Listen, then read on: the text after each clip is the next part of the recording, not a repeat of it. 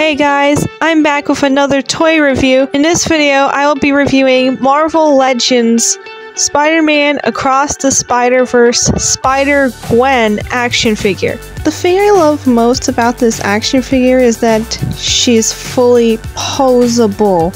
You can move her arms, her legs, and the head. It's just awesome.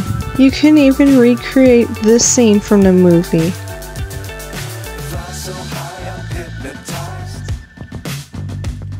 What's up is down, what's left is right.